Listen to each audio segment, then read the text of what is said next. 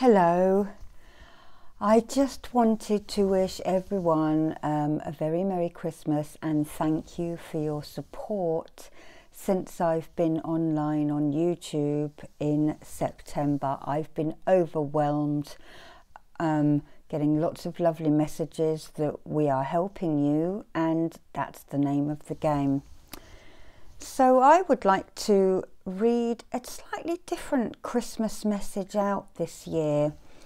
I was running a um, a group around Samhain, Halloween, and we were picture reading for people's relatives in the group.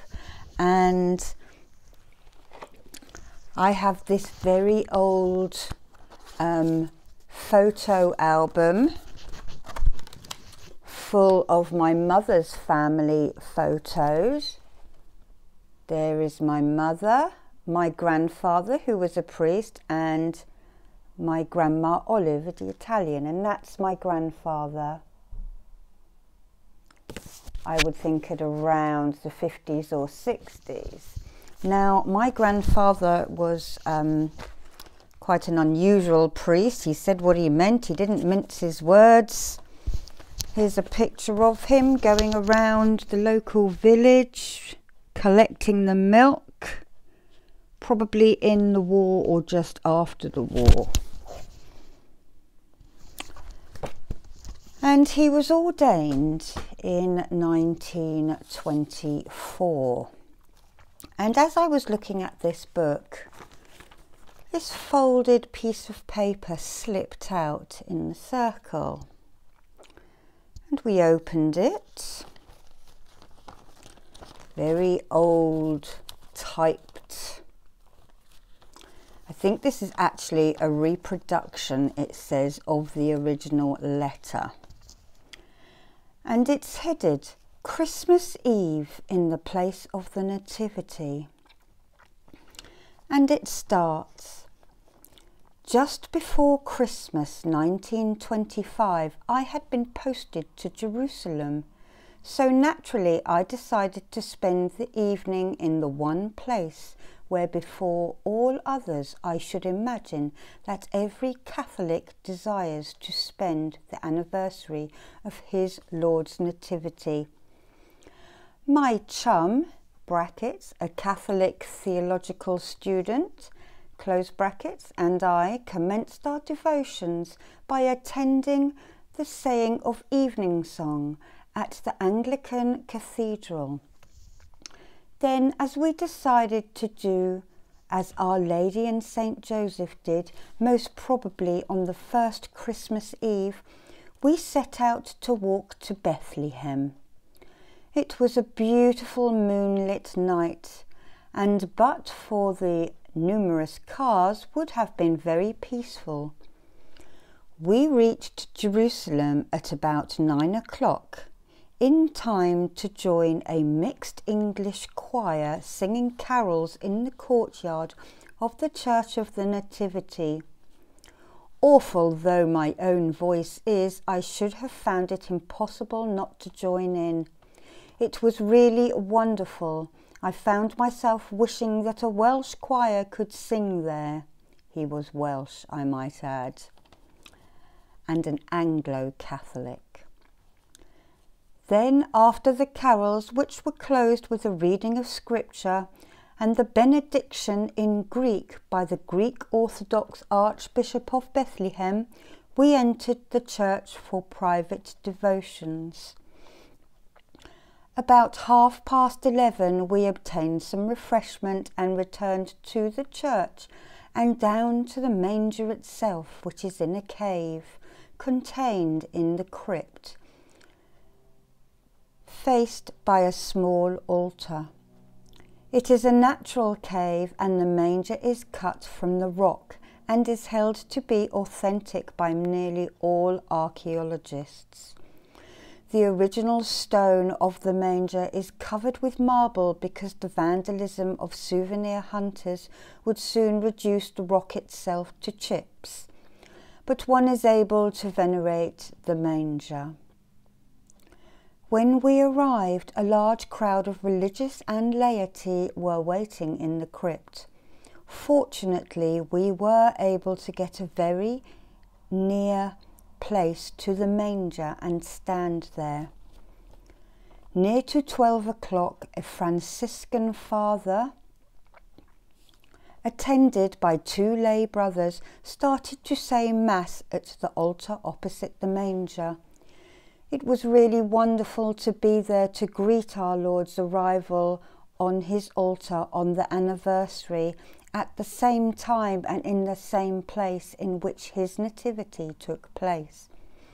Naturally, one remembered in prayer those of one's friends who were not so fortunate as to be able to come. It hurt rather a lot by the obscure antic tactics of the Latin Church. We are debarred from receiving the Blessed Sacrament at such time.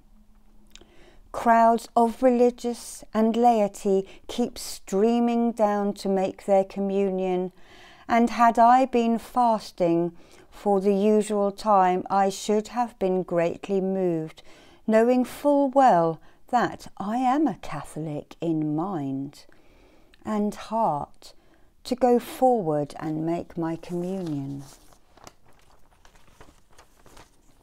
Father Steer the Anglican chaplain had tried to arrange an Anglican midnight mass, but his Beatitude Damianos Orthodox Patriarch of Jerusalem was, I think, afraid of interfering and ruining the status quo.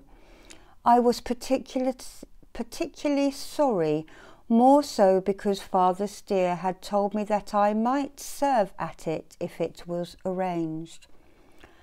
After the Mass had ended at the altar of the manger, we went up into the church.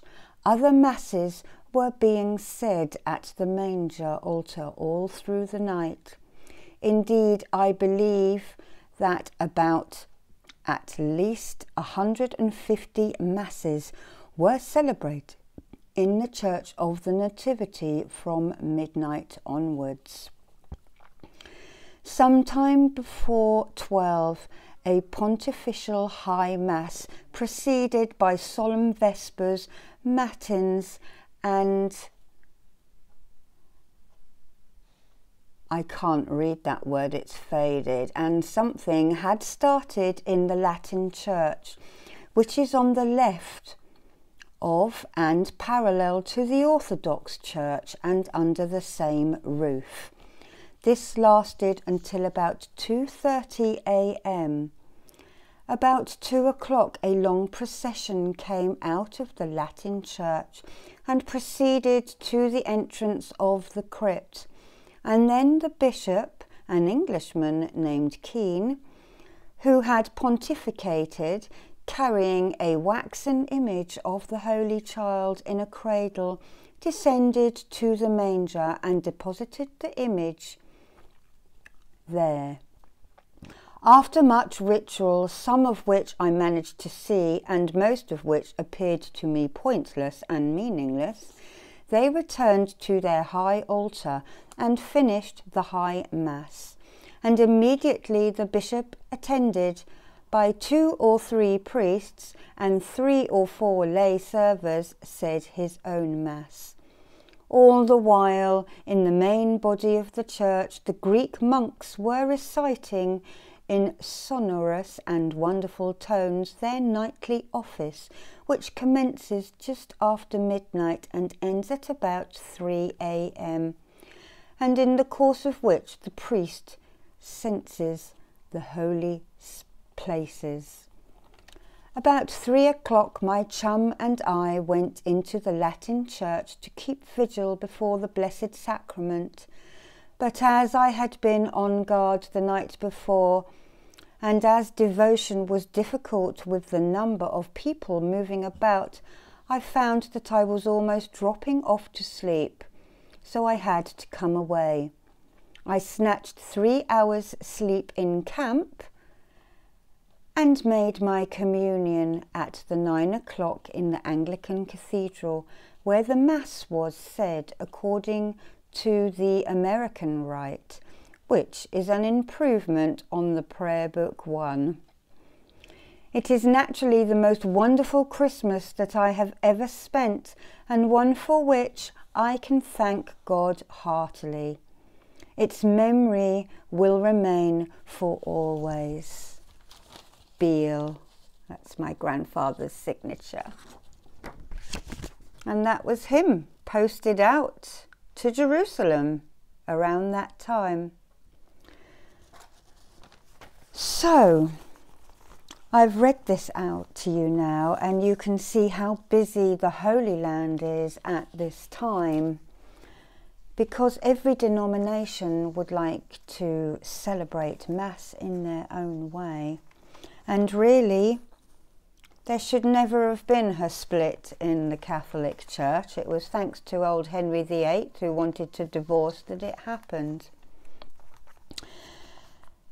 Now, I know many of you know that I'm a Druid, but I'm also a Christian as well. So you can be both together. You just take the bits that you like from each and mix and match. So I will be remembering my family and the Christ child and the birth and the multitudes of angels who sang over Christmas Eve. It's not all about the presents for me. And I really wanted to remember my family at this time, those who have gone before me, who I never knew, and those who I know, who I now miss. And I wanted to say to you, speak to these people, find out the stories, find out what life was like, because this little letter has been an invaluable. Sorry, I didn't get that. Please try again. This little, that's Alexa kicking off. This little, this little letter is such a valuable insight into the past. So have a wonderful holiday season. And I will see you all after Christmas and in 2020 and I call out peace to the north, peace to the east, peace to the south, and peace to the west, as us Druids do, and may peace reign around the world. Blessings to you and your family. Bye bye.